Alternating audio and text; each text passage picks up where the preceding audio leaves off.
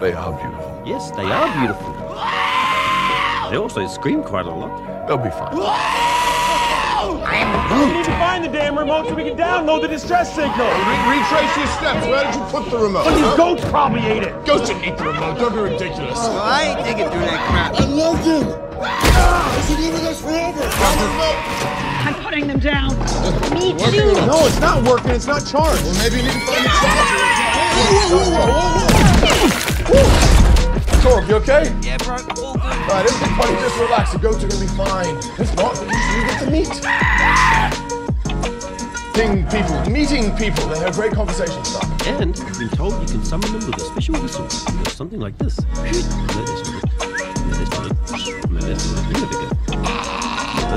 Oh, hey guys. Kraglin, You've been here this whole time?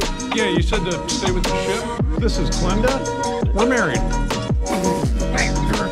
What did we tell you about jumping into new relationships? Then I shouldn't be doing that. Yeah, you can't get married on every single planet we land on.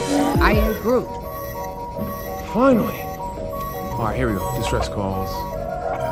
Please help us.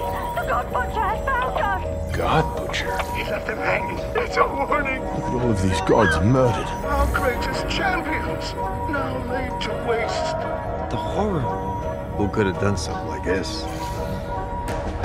Wait, wait, wait. What was that? Go, go back. Play that one. Where are you? Sif. We need you here. My friend is in danger. We must go at once. Stop the ship, my friends. Oh, maybe we should split up. There's So many people to save. I mean, look at all of this distress. Thank you for watching.